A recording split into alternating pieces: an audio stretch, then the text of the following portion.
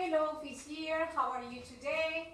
Well, so today, are you happy, sad? I hope you are fine today. Well, today we are going to um, correct the mistakes from units 7, 8, and 9.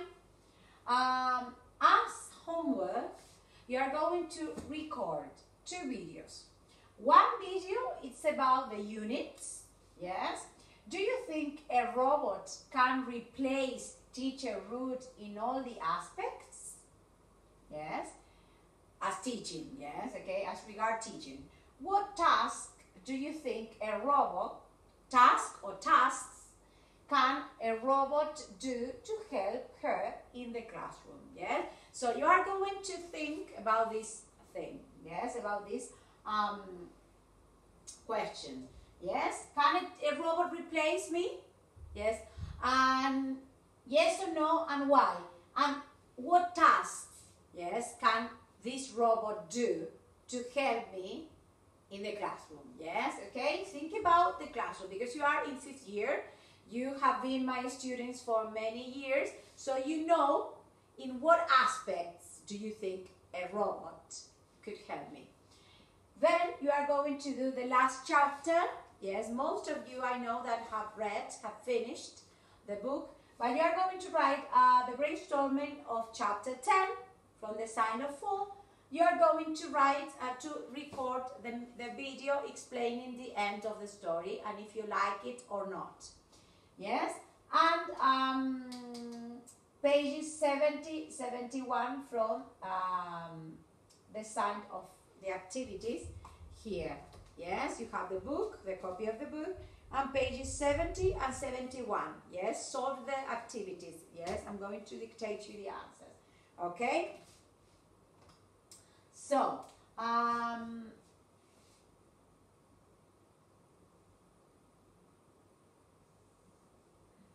this is from uh, fecha de salida hoy para el 13 de for next class. Okay, ahí tenemos la fecha. Yes, okay. Well, so, um, muy bien los writings, muy buenos reports en líneas generales, todos los que entregaron muy buenos reports. But, mm, but, pay attention to something. It's not here, it's in my other bag. Wait a minute. Pay attention to something. I think you need to check, yes, the spelling mistakes, the grammar mistakes. Yes? Okay. Wait a minute.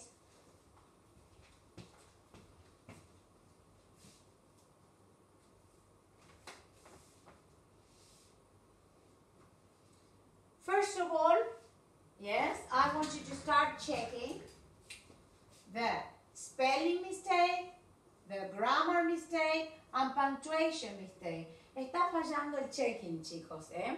Muy buenos, muy, muy, muy buenos, muy buen contenido. A veces tienen tres gramas nomás y se me van a seis errores de punctuation. ¿Sí? Y no puede ser eso porque la puntuación, ya saben que los errores de puntuación, I mean, comas, puntos, yes, mayúscula, capital letter, yes, es un punto se descuenta, ¿sí? Spelling, si escribiste mal la palabra, 0,5. Y grammar, un punto. A la par de lo que es punctuation, ¿está? Entonces, controlen si las mayúsculas son mayúsculas. Esta I no es una I mayúscula. Esta es la I mayúscula. ¿Yes? ¿Ok? Las comas, los puntos. ¿Yes? ¿Is it clear? Entonces, a ver si baja un poquitito el tema de los errores de porque a veces está fenomenal la de report, but te vas en punctuation con un montón para arriba. ¿Sí? Artículos. Cuando va la A, cuando nombro por for the first time, uh, I think a cell phone is useful. Yes, okay. The cell phone cuando nombro por segunda vez. Yes, okay. Uh, recommend. Yes, another common mistake. I recommend buying. Yes, the verb plus ing. Yes, I recommend buying this cell phone or I recommend you to buy. Yes, is it clear? Well, otras cosas. Man, is singular, men is plural, woman is singular, women is plural. Is it clear? Yes. Otra cosa. Hay mucha gente que no está entregando. No me manden tarea atrasada. ¿Sí? Porque imagínense todo lo que yo di de tarea de, de, vacaciones que devolví todo.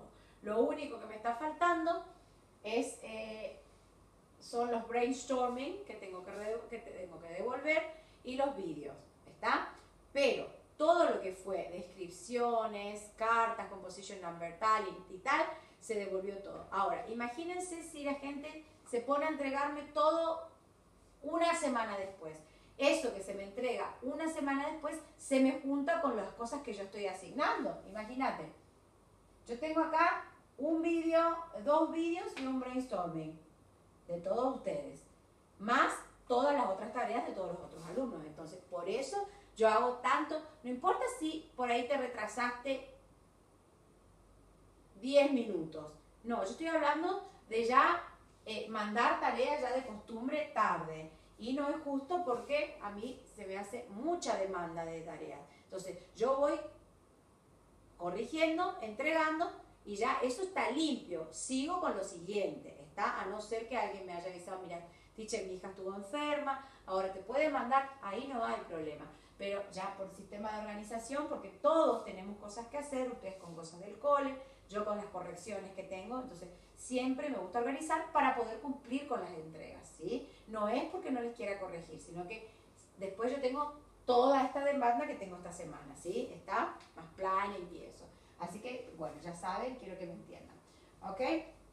Bueno, so, uh, shall we go? The first thing we are going to do, we are, I'm going to show you, dictate you, You are going to open your file, you are going to see your correction because this is very important that you open your files and see your corrections, not only in the grammar but also in the um, in the written yes part, in the report in this case, yes.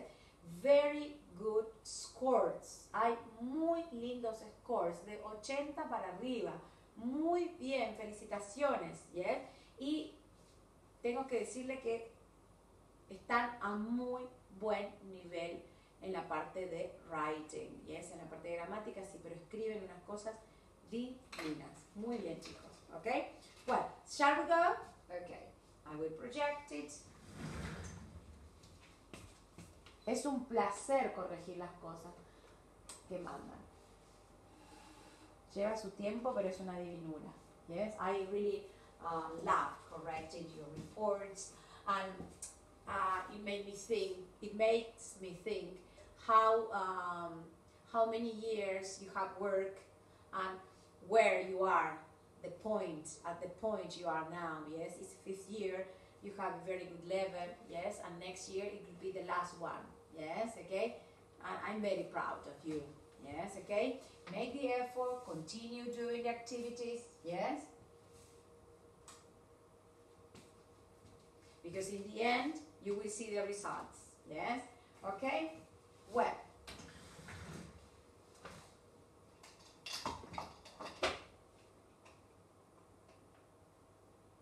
Good, good, good.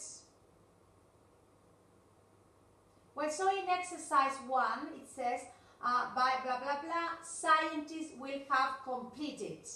Yes, teníamos futuro perfecto o futuro perfecto continuo. Yes, will have completed. Number two, will be thinking, yes, in 2040 people will be, ah no, perdón. Two, in the near future, computers will be thinking. Number three, will be communicating. Number four, will have found, yes, by 2080, scientists habrán encontrado la, cura para el cáncer. Yes, okay. No habrá estado encontrando. Yes, okay? Four will have found. Five will be fighting. Five, yes. Okay, blah, blah, blah. Countries will be fighting. Estarán peleando, yes. Uh, fighting words using robot instead of human soldiers. Yes, number six we have become. Yes, exercise two. We have software, download, very good, muy bien, tuvo la parte de vocabulary. Number one, download. Number two, virus. Number three, keyboard. Number four, application. Number five, software. Number six, password. Yes? Three. 1D, 2E, 3A, 4F, 5C, 6B. Exercise 4.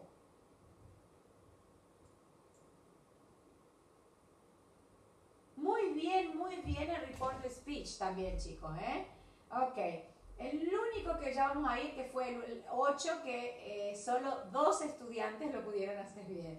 Only two solve the mystery, yes? Porque era media tricky. Yes, okay. Number four, she had uh, met Seth. Y acá, bueno, she had met Seth, okay? Number three, uh, two, that he had enjoyed reading her essay. Three, she knew when the film started. Four, that was right way to the station, the right way to the station. Five, was going in the wrong direction. Six, she liked her new haircut. Seven, if anyone had seen her car keys. And eight, that he loved her new hairstyle. Y acá, bueno, esta, esta la pusieron bien. La siguiente, number five. ¿Ok? Entonces, ahí teníamos la primera frase, está en pasado. She had to be home. ¿Está? She had to be. Entonces, tenemos que poner en el estilo directo, por eso está entre comillas, porque cuando pasamos la frase real, ¿sí? Va entre comillas. Entonces sería, you have to be home before midnight. Number two, Nadia asked Jack he would, uh, he would look after her cat in the, the following weekend. Entonces, la correcta sería, will you look after my cat next weekend? Y acá estaba en would, ya sabíamos que entonces pasa will, la correcta, y había el cambio de, de following, following weekend, que sería next weekend. Yes? Okay? Good. Uh, number three, I will take you to Disneyland tomorrow. Yes? Number four, has anyone seen my keys? Number five, it's going to rain this evening or tonight. Number six, can I borrow your car tomorrow, mom? Number uh, seven, put on your hat, Mia. Number eight, y esta es la que dice, Tamir said that they had a great time the previous evening. ¿Ok? Entonces ahí, yes, tenemos que poner, we had a great time yesterday. We had a great time. Yes, ok. Porque dice acá, esto les redondea todo, said Tamir. Yes. Tuvimos una linda noche, dijo, ¿está? Entonces, cuando te pone el se fulanito, atención ahí, ¿yes? Y te daba la pista que era yesterday, ¿yes? Ok, good. Number six.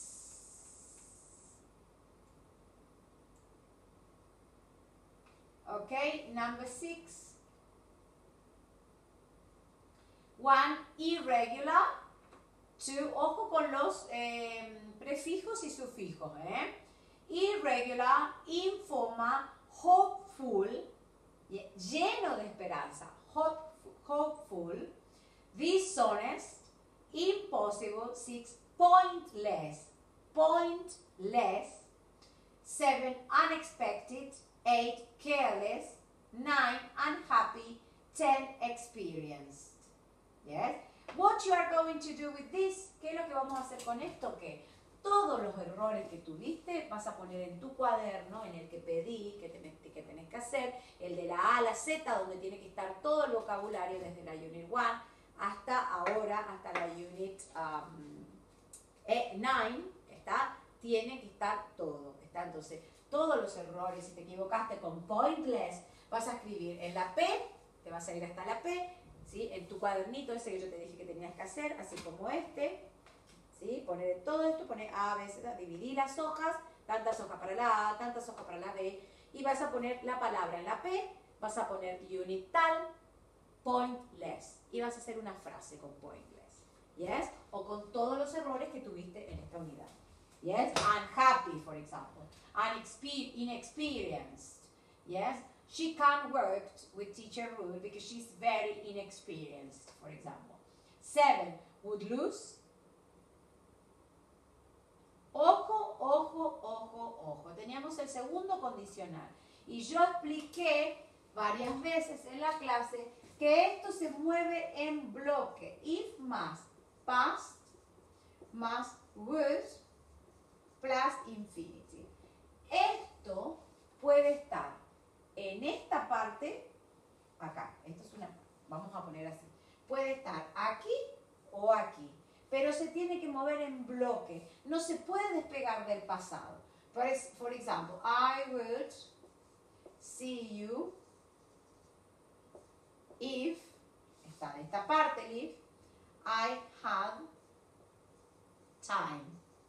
I would see you this weekend if I had time. I would see you if I had time. Te vería si tuviese tiempo. Entonces, esto puede estar acá. ¿Lo ven? Bueno, esto para que no nos moleste. ¿Ok? Entonces voy a cambiarlo. Ahora voy a poner acá. If I have time, I would see you. Martin, esto es lo que te volví a escribir. ¿Sí? Que se mueve en bloques. ¿Está? Por así decirlo. Entonces tengan eso en cuenta que todos los condicionales pueden estar acá o acá, pero nunca se despega al lado del tiempo que está al lado del if. ¿Está? Como para una trampita, para que cada uno se, se vaya guiando con eso. ¿Yes? Is it clear? Good. Well, uh, would lose, lives, would make, for, will forgive, one, tall, will lend, would like, would like, eight, yes, if you met Helen, you would like her, no would and would. Will order, number nine, yes, okay, and will you answer, la última.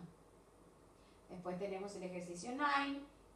Yes, okay. If I were, ojo este, ¿eh? porque suele costar, ¿eh?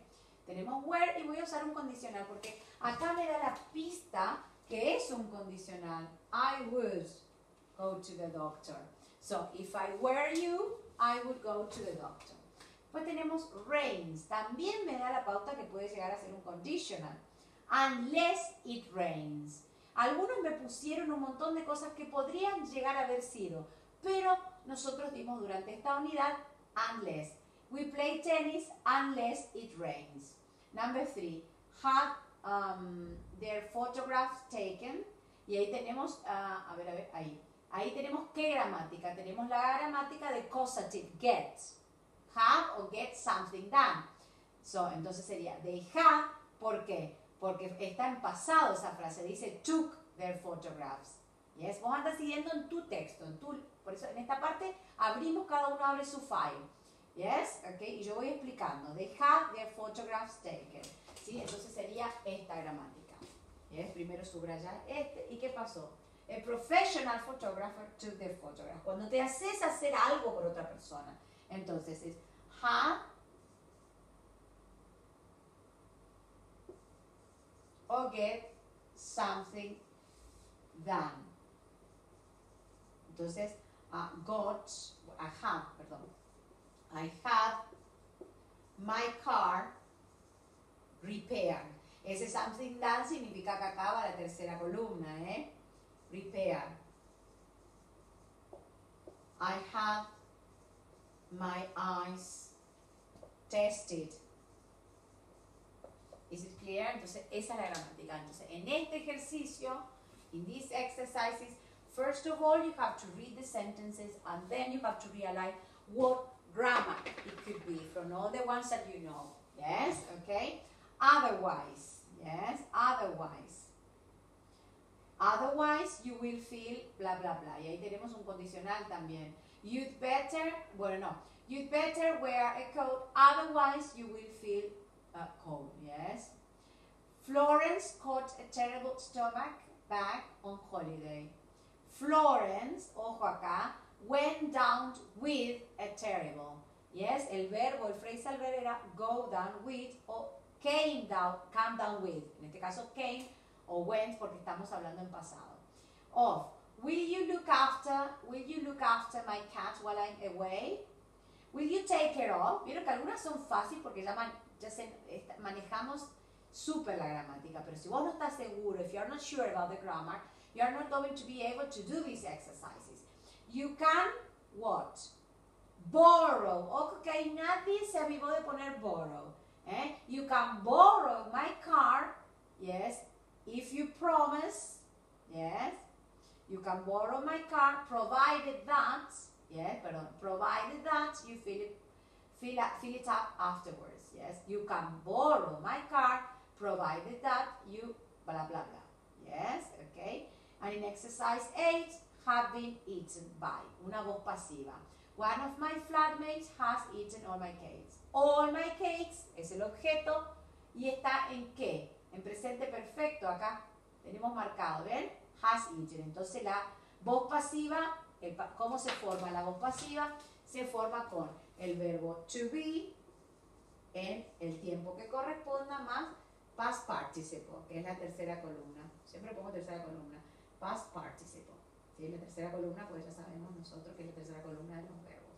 ¿Ok? So, uh, all my cakes have, have been, sería la forma correcta del to be en el presente perfecto y la tercera eaten. Is it clear? Good. Well, um, well, in exercise 8,